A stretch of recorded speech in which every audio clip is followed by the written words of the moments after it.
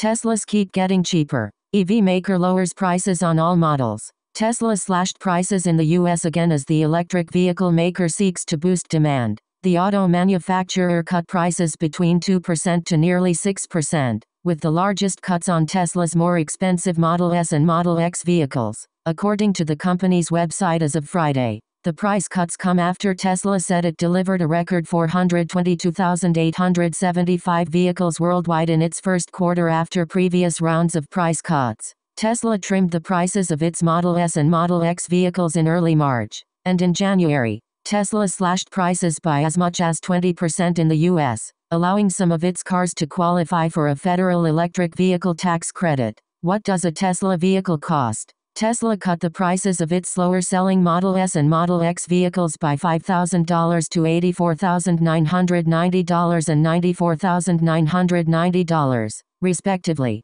Last month, the automaker slashed the model's prices between 4% and 9%. The company also trimmed the costs of its more affordable Model 3 and Model Y vehicles by $1,000 and $2,000, respectively. Here are the current prices for Tesla vehicles. Model S, $84,990 Model S Plaid, $104,990 Model 3, $41,990 Model 3 Performance, $52,990 Model X, $94,990 Model X Plaid, $104,990 Model Y Long Range, $52,990 Model Y Performance, $56,990.